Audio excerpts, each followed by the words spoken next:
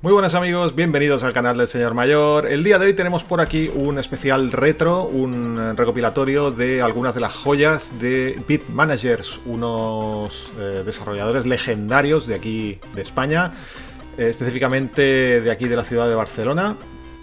Y nada, tenía muchas ganas de hacer este, como os digo, este recopilatorio porque hay un montón de juegos interesantes de esta compañía barcelonesa que vale la pena, vale la pena eh, recuperar en estos días. Más que nada, eh, días en los cuales pues estamos hablando mucho de los estudios indie, de pequeños estudios de desarrollo que con muy poca gente y con menos medios pues comienzan a hacer desarrollos eh, para los sistemas actuales. Y a veces nos olvidamos de que hay una empresa, hubo una empresa en los 90, a principios de los 90, que fue pionera y que fue prácticamente la única empresa española que desarrollaba videojuegos para consolas. Y en este caso, pues hablamos, como os digo, de Beat Managers, una empresa que empezó siendo New Frontier, y que posteriormente en el año 92 se convirtió en la legendaria Beat Managers. Tengo por aquí algunos juegos, sobre todo de la época de Game Boy. Vamos a jugar eh, específicamente juegos de Game Boy y Game Boy Color en el vídeo que os presento el día de hoy. Y tengo por aquí, en formato físico, algunos de los juegos de, de Managers de la época de Game Boy. Tengo por aquí, por ejemplo, este Asterix. Espero que lo veáis bien por ahí. Se verá un poquito borroso a lo mejor. Pero bueno, este es el, Asterix de Game Boy, ¿vale? Un juego muy muy bueno, juego de plataformas muy en la línea del primer Super Mario Land, que ahora lo veremos también en el vídeo. Y tengo por aquí una joyita, muchos no lo saben, pero este es el primer juego español que salió en consola alguna. Es decir, esto es historia, historia viva de los videojuegos españoles. Estamos hablando de Pop-Up, ¿vale? Pop-Up, el juego de Beat Managers antes de convertirse en Bitmanagers. De hecho, este lo firmaron como New Frontier. Eh, y fue, como os digo, el primer videojuego español en aparecer en cualquier consola. Así que esto, como os digo, es historia viva de los videojuegos. Y si veis por ahí, está firmado por el propio Alberto González, alias Macalvi. No sé si se acaba de ver por ahí, pero aquí aparece la firmita. Eh, Alberto, pues muy gentilmente me lo pudo firmar en la Arcandreu 2023, que fue pues hace un par de semanas. Eh, me lo pude encontrar por ahí, estaban haciéndole una entrevista y pues ya os digo, eh, muy amablemente me firmó, me firmó el juego y, ya lo guardo, pues bueno, como podéis imaginar, como un auténtico tesoro. Así que nada, pues era para que vierais un poquito estos, estos juegos. Hay muchísimos más juegos de Beat Managers. Tenemos el Pitufos, tenemos el Spirú, los eh, Turok, tenemos el, el Tweety y Silvestre. Tenemos, bueno, una cantidad de juegos que aparecieron para Game Boy y Game Boy Color increíbles. Así que nada, vamos a coger una pequeña selección, unos cuantos de ellos, y los vamos a ver en este vídeo. Vamos a jugar un ratito. Y nada, espero que os guste. Venga, vamos allá. Venga, pues empezamos con este pop-up, eh, juego como veis por ahí en 1991. El juego fue, eh, fue lanzado en el 92 realmente. Este es un juego que, como os digo, eh, como os he dicho en la, en la, entradilla, primer juego español para consolas, lo cual, pues como digo, es un, es un auténtico hito para el software español. Este es un juego que, Alberto González comentaba en la entrevista del otro día. Eh, que compuso la música para, Pop-Up en un fin de semana, en, dos días prácticamente, y creo que era en un permiso de mientras hacía la mili. Me parece que también, eh, pues bueno, Isidro Gilabert, que es el desarrollador, eh, también me parece que en ese momento también estaba haciendo la mili, o estaría muy cerca de hacerla, así que este juego lo realizaron pues bueno, eh, prácticamente en, condiciones extremas, como podéis ver. Así que nada, eh, primer juego de Beat Managers para Game Boy, todavía era New Frontier en ese momento. Eh, juego muy simple, este juego es un. no deja de ser un port de otros juegos que aparecieron en ordenadores, en microordenadores de, de 8 bits. Y como veis, pues un juego con sprites muy simples, con una jugabilidad muy directa. Creo que es un juego que se adecua muy bien a lo que era la Game Boy en aquel tiempo, que al final, pues bueno, una consola portátil que todavía no había, no había demostrado grandes cosas, simplemente ser un, aparato pues en el cual poder jugar a pequeños juegos. Es verdad que ya teníamos el Super Mario Land y que teníamos juegos pues bastante guays de, la primera jornada, sobre todo los, realizados por Nintendo. Pero al final... Em, al final este tipo de juegos, así simples, con sprites pequeñitos y demás, pues eran lo que más o menos salía y, lo que desarrollaban la mayoría de third parties para, esta consola en sus primeros tiempos, ¿no? Juegos con jugabilidad muy directa, con, como digo, sprites muy pequeñitos que todavía no aprovechaban esos trucos que posteriormente se extendieron ¿no? en, el desarrollo de videojuegos para Game Boy, en el cual pues se intentaban hacer sprites un poquito más grandes a través de, ciertos trucos. Al final las limitaciones de la, Game Boy provocaban que, los desarrolladores tuvieran que tener eh, una serie de una serie de trucos para poder hacer gráficos eh, con mejores condiciones, digamos, ¿no? Un poquito más elaborados. Venga, como podéis ver por aquí, al final Cool Ball, eh, Pop-Up, perdón, le digo Cool Ball porque la versión americana se llamó Cool Ball, ¿vale? Entonces, eh, aquí ya tenemos que reiniciar la fase, porque como veis ya no podemos pasar. Eh, estaba aquí hablando bastante, pero, pero venga, vamos a, vamos a tirar un poco, voy a matarme. Tenemos que recoger todos los ítems para que se nos abra el final de la pantalla y poder, y poder salir de ella, ¿vale? Entonces lo que tenemos que hacer aquí es, venga, empezamos, cogemos el ítem, aquí tenemos varias compuertas, por llamarlas de alguna forma, que nos permiten eh, abrir nuevos caminos, ¿vale? Por aquí para seguir avanzando, aquí abrimos otra compuerta, cogemos el ítem y así pues continuamente, ¿vale? Vamos recogiendo todos los ítems y aquí pillamos el último ítem y vamos a la salida de la fase. Como veis, un planteamiento muy sencillo que se va complicando. No sé si hay unas 100 fases en este juego, es larguísimo. La verdad es que es un juego complicado, ¿eh? A medida que vamos pasando fases, la cosa se complica. Y lo que parece ahora muy simple, la verdad es que luego se complica muchísimo. Ahí, como veis, si queremos ya podemos salir, ya ha aparecido el final de fase. Así que, pero bueno, yo voy a coger todos los ítems y salimos de aquí, ¿vale? Como veis, juego muy simple. Para ser el primero de New Frontier Beat Managers, pues bueno, un juego bastante simple que se adecua muy bien a la jugabilidad de Game Boy. Y, bueno, posteriormente vais a ver que tiraron por eh, derroteros más elaborados, eh, cogiendo como referentes a juegos de plataformas como Super Mario Land. Y es lo que vamos a ver en el siguiente Asterix para Game Boy de Beat Managers. Venga, ya tenemos por aquí el Asterix. Hay una, cosa eh, común en la mayoría de juegos de Managers de la época y vamos a ver si lo podemos ver aquí en este Asterix.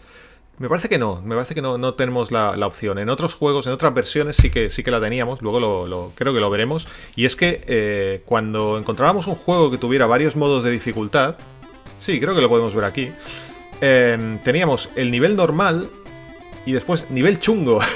en vez del hard mode o, nivel difícil, eh, siempre ponía nivel chungo. Esto me hacía mucha gracia en, aquella época. Y es una constante en la mayoría de juegos de Bitmanagers, en la mayoría de consolas. Que el nivel difícil sea el nivel chungo. Así que eso, eso me gustaba mucho.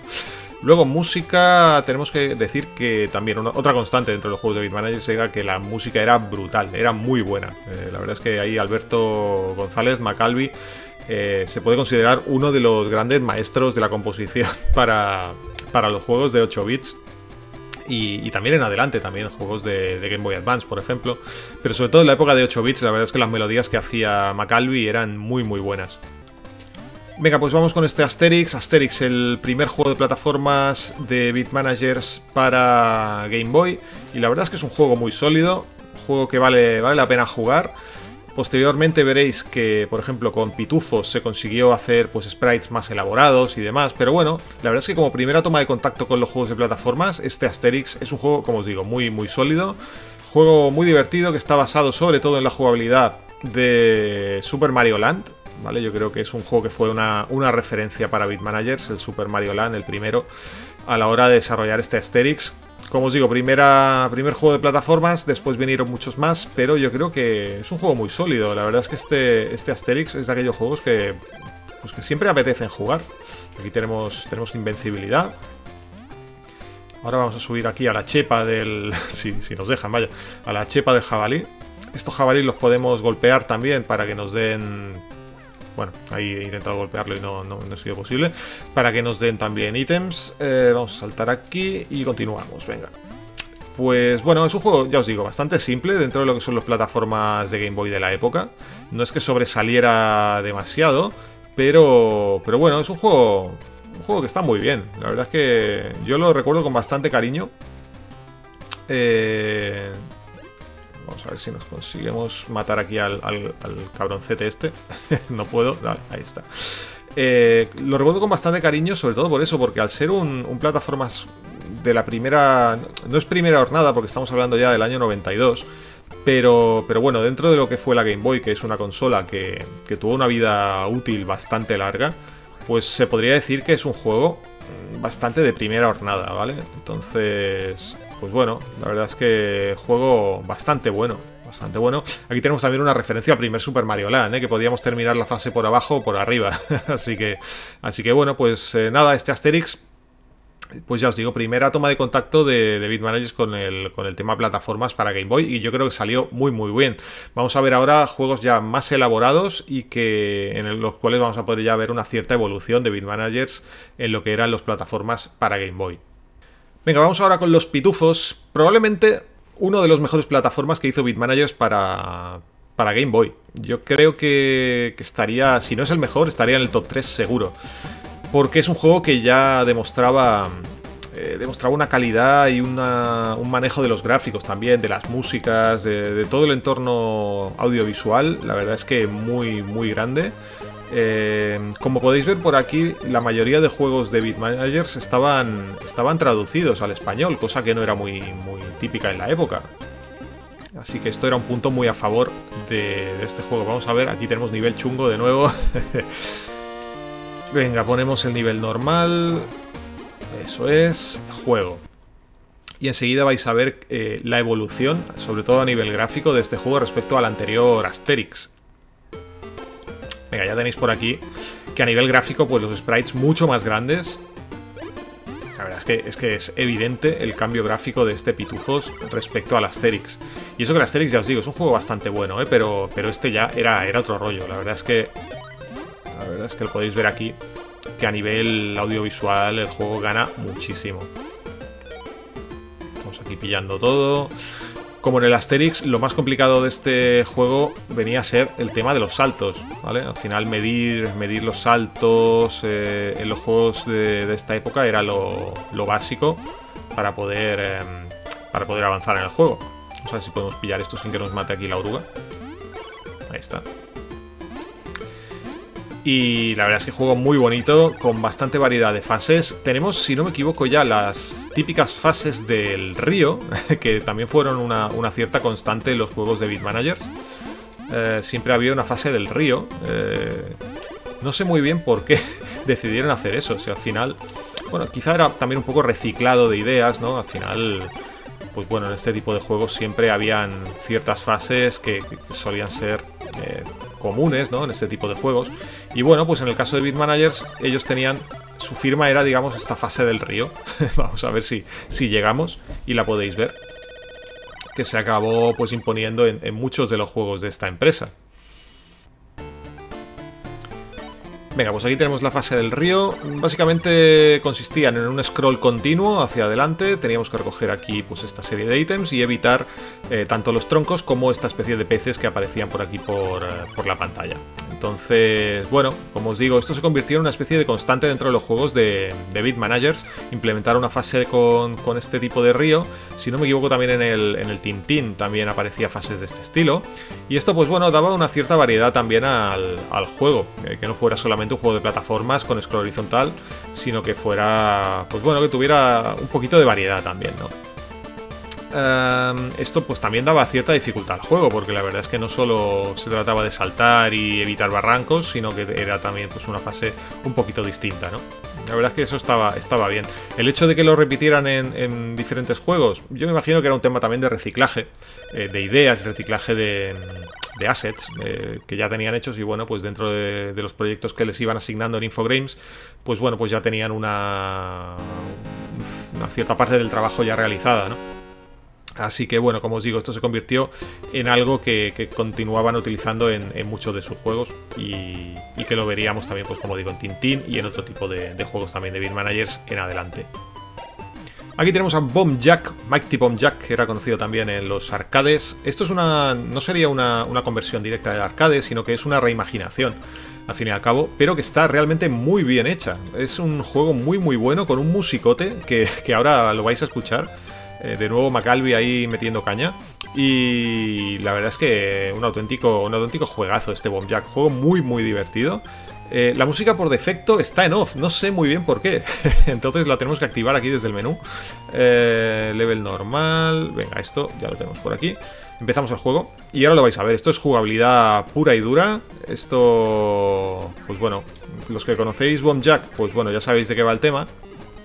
Y la verdad es que yo creo que es una forma muy interesante de reinterpretar lo que era el Bomb Jack del arcade y meterlo en, Game Boy en una pantalla estática, sin scroll, como tiene que ser, en este tipo de arcades.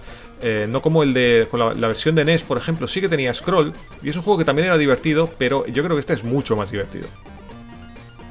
Y me voy a callar un poco para que escuchéis la música. Vamos a ver si la puedo subir un poquito.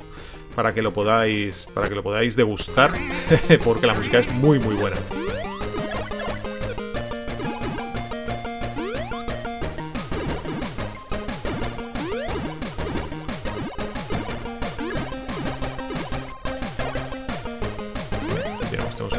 las bombitas.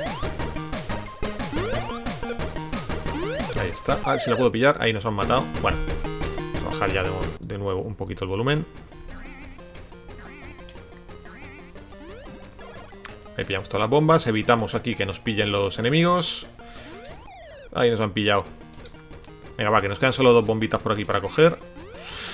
Y bueno, pues ya os digo, jugabilidad muy directa, juego simple, pero que, es que esta jugabilidad es a prueba de bombas. O sea, al final es un juego muy divertido, arcade, como digo, de todas, de todas las épocas.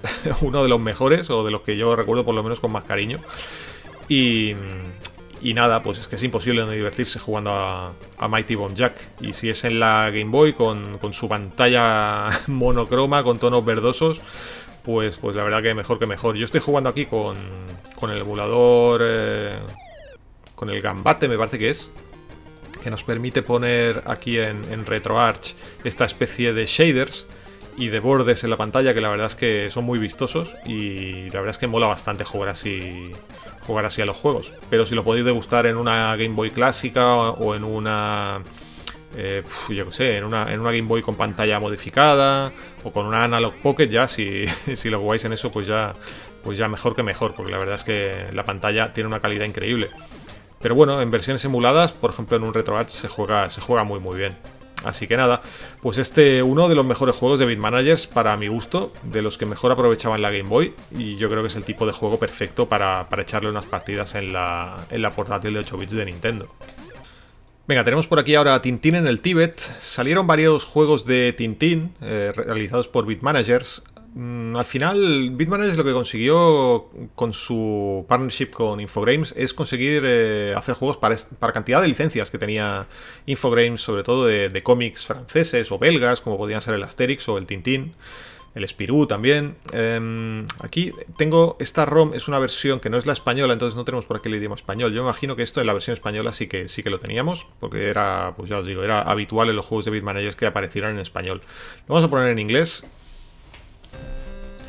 y Tintín en el Tíbet es un juego que, es bastante curioso porque una de las condiciones que le pusieron a Bitmanagers para desarrollar el juego es que Tintín no podía disparar. Entonces, ¿cómo haces un juego de eh, plataformas y acción en el cual el personaje no puede disparar?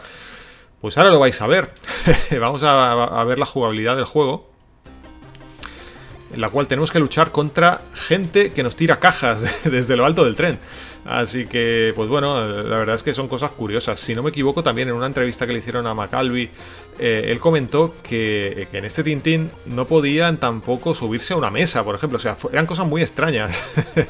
Les pusieron una cantidad de, impedimentos para poder, para poder hacer eh, el juego. La verdad es que increíble. Y aún así, pues consiguieron un juego bastante vistoso y bastante, bastante divertido.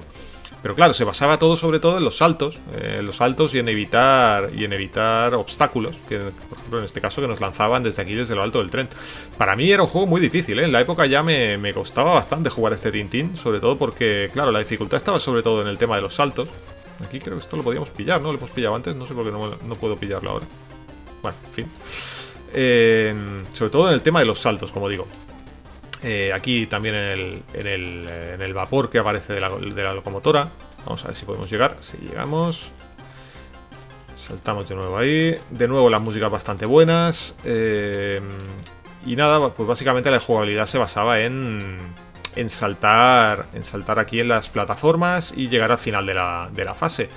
Pues al final con cuatro cañas consiguieron hacer un juego bastante bueno gráficamente muy, muy bueno, sobre todo estos fondos con estos, con estos vagones de tren, la verdad es que muy chulos.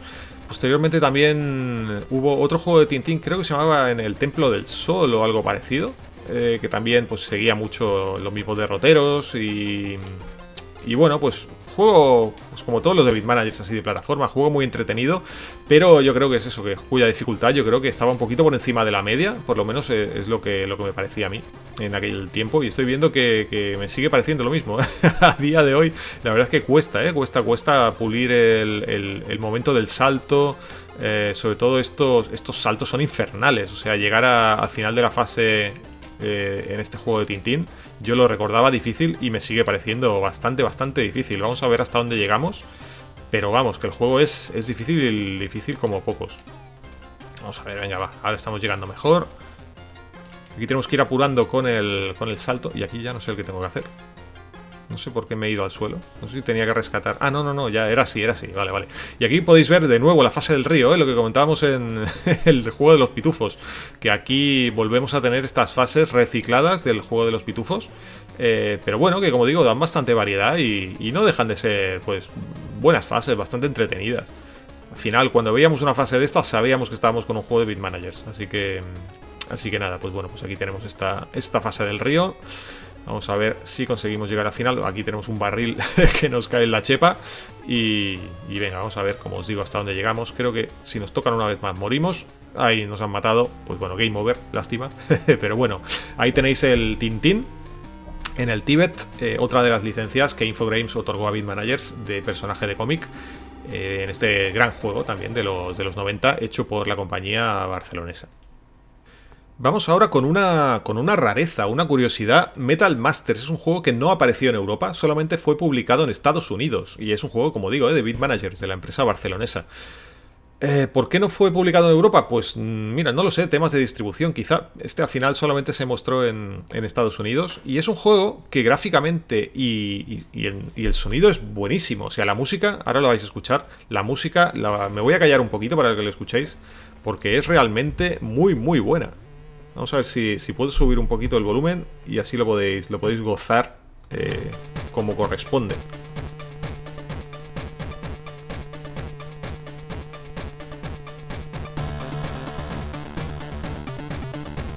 Es un musicote, digno casi de Chimo de la época. Estamos hablando de, los años 90, ¿eh? pero escucha, escuchad qué musicote. Venga, vamos a ver qué tal este Metal Masters. Como siempre, cogemos eh, dificultad en mediana. Tenemos la opción de mejorar el robot. ¿Vale? Tenemos varios robots que... Bueno, podemos utilizar este robot y podemos utilizar varias, varias mejoras, pero todo esto tiene un, tiene un precio. Yo no tengo créditos ahora mismo, por lo tanto no podemos mejorar en nada a nuestro, a nuestro robot. Entonces, bueno, vamos a empezar. Y esto básicamente es un, es un beatmap eh, uno contra uno, en el cual tendremos que ir luchando contra los robots que nos salen, que nos salen por aquí, eh, que nos salen por delante. Y bueno, tiene una jugabilidad muy básica, ¿vale? En realidad lo, malo de este juego básicamente es su, es su jugabilidad. Eh, técnicamente es bastante meritorio, porque la verdad es que el juego es chulo, o sea, gráficamente es chulo. en principio a nivel mecánicas tiene pinta de que está, de que está guay y tal. Pero básicamente lo único que podemos hacer es pegar con el botón, con el, con el, vamos, con el botón A, con el botón B, cada uno de los, de los eh, brazos del robot tiene una serie de ataques, pero que no, no va mucho más, no va mucho más allá. Eh, yo creo que la gran pega de este, de este juego es a nivel jugable, básicamente, que no tiene, no tiene demasiada variedad. Creo recordar que tiene algunas fases como de scroll lateral, en la cual aparecían una especie de tanques y los íbamos pisando y tal. Pero. Pero bueno, que al final el núcleo principal del juego es pegar y pegar golpes con nuestro robot, ir mejorándolo y, ir avanzando, ¿vale? No tiene, no tiene mucho más. Esto es eh, Metal Masters, que seguramente en las versiones de Amiga, por ejemplo, o Atari ST, pues lucía mucho mejor. Eh, la versión de Game Boy, pues claro, no. Bueno, a pesar de que, eh, lo que digo, no, no, se ve nada mal y, tiene una buena música de inicio. Dentro del juego no tiene música. no sé si es una limitación de memoria o lo que sea. Em, pero, pero bueno, básicamente la música se ve solamente en el menú principal. Eh, y digo eso, que a lo mejor quizá el juego, pues claro, lucía mejor en, las plataformas eh, antes mencionadas. Y aquí en Game Boy, pues claro, a nivel jugable se quedó un poquito, un poquito al debe. Y nada, a ver si, si me puedo acabar de cargar aquí al, al colega este. Se le van, eh, digamos, reduciendo las barras del brazo derecho, brazo izquierdo, el cuerpo. Y entonces, pues bueno, lo que pasa es que se me está escapando aquí el tipo. Se va para abajo, se va para arriba. y como que cuesta... ahí me parece que le puede disparar algo. Vamos a ir a darle manduca. Y bueno, el juego no tiene mucho más que esto. Es eso, yo creo que lo que le falla básicamente es el tema de la jugabilidad. Es una lástima, pero bueno, es un juego que no, que no tuvimos aquí en Europa y que, bueno, el que lo quiera tiene que irse al mercado americano, eh, mercado de segunda mano americano y buscar por ahí, a lo mejor en eBay o por ahí buscar una, una copia que se pueda traer a casa de este Metal Masters. Venga, y vamos a terminar con los juegos de Beat Managers. Hemos cubierto unos poquitos, tampoco se trataba de hacerlos todos, que hay decenas realmente en la época de los, la década de los 90. Eh, pero terminaremos por todo lo alto con este Turok, eh, juego ya de Acclaim. Beat Managers ya avanzados los años 90 consiguieron un, eh, acuerdo con, con, Acclaim para implementar este, esta reimaginación del Turok. Ese juego que triunfó un montón en Nintendo 64, un juego que todo el mundo quería en aquella época. Juego carísimo, además, que salió, no sé si a 15.000 pesetas de la época en Nintendo 64. Bueno, al fin y al cabo, lo que le pidió a Claim a Bitmanagers fue hacer una versión para Game Boy de este Turok, que era un juego, un FPS, un first person shooter en tres dimensiones, y meterlo en, la 8 bits de Nintendo, lo cual era bastante complicado. Pero la verdad es que Bitmanagers aquí se sacó el sombrero, por no decir otra cosa, haciendo este, este port porque es una, es una auténtica pasada, es un juego adaptado perfectamente. Hicieron lo que, lo que tenían que hacer, un, juego de plataformas y acción, adaptando al personaje de, de esta saga y haciendo un juego súper divertido. O sea, al final es una especie de... Se podría decir un Metroidvania, aunque eh, no es específicamente lo mismo, ¿vale? No, no, no, no llega a tener esa profundidad de los Metroidvania. También estamos hablando de otra época, ¿vale? Aquí no había aparecido todavía ni Symphony of the Night prácticamente, o era el mismo año. Entonces estamos hablando de, de un juego... Eh, un juego realmente muy bueno para, para la época, que se adapta muy bien, como digo, a las capacidades de la portátil, que tiene una música muy buena, que técnicamente el juego es muy bueno, es divertido de jugar, se controla perfecto. Y es un juego que tuvo continuaciones en... No sé si tuvo hasta cuatro juegos, si no me equivoco. Alguno de ellos ya en Game Boy Color. Y la verdad es que un juego, pues eso, de lo mejor de Bitmanagers en, en toda su historia, diría yo. Juego que tuvo mucho éxito. Que como digo, recibió críticas bastante buenas, teniendo en cuenta, pues eso, el, valor que tenía el, haber hecho un juego adaptado a las capacidades de una consola de 8 bits portátil eh, en blanco y negro. Eh, y que, bueno, pues que obviamente no era el Turok que, que habíamos visto en Nintendo 64, porque es que era imposible de hacer eso. Entonces Bitmanagers hizo, yo creo, lo que tenía que hacer y lo hizo muy muy bien. Como veis, eh, muchísimas animaciones del personaje principal, mm, enemigos de todo tipo, se cuelga de las cornisas, la verdad es que todo esto está, está curradísimo. O sea, el juego en sí, la verdad es que era una, auténtica, una auténtica maravilla. Cantidad de enemigos, dinosaurios, insectos, bueno, todo tipo de cositas. Y sobre todo un juego pues largo, difícil, como nos tienen acostumbrados eh, en Bitmanagers. Y nada, pues mucha, mucha diversión y muy buen hacer por parte de, esta gente. La verdad es que se merecen el, ser recordados, ¿no? Como una. Como una de esas desarrolladoras míticas dentro del, desarrollo de videojuegos para 8 bits. Y sobre todo, pues por ser uno de los más grandes dentro del desarrollo patrio. Porque ya lo digo, es que en esta época te pones a mirar y es que no había más estudios que hicieran eh, juegos para consolas. No había, no había más. Así que, pues nada, hay que darles todo el mérito a, los los Managers porque la verdad es que se curraron un montón de juegazos, consiguieron mantenerse en la industria durante un montón de años. Eh, siguieron también trabajando con juegos para, por ejemplo, Game Boy Advance. También hicieron desarrollos para PlayStation con aquel recordadísimo port del arcade de Mm, de, motos de Gaelco, eh, que también hicieron un port para, Game Boy Color, si no recuerdo mal, que ahora saldrá en Evercade, por cierto, licenciado por primera vez, un juego que, se canceló su lanzamiento y que ahora va a salir para, para Evercade. Eh, Radical Bikers. Así que, pues nada, mucha historia metida dentro de estos juegos. Eh, ojalá hubiéramos podido ver más, pero ya os digo, por longitud del vídeo, pues tampoco nos da para, para ver mucho más. Pero bueno, espero que, por lo menos os hayan gustado estas, estas pildoritas, estos pequeños juegos que hemos, que hemos visto por aquí. Y nada, pues poco a poco vamos, vamos llenando de contenido el canal. Yo espero que os haya gustado. Si os ha gustado, pues eso, dadle like al vídeo, suscribís para, para más vídeos de aquí en adelante. Y nada más, un abrazo a todos. Hasta luego.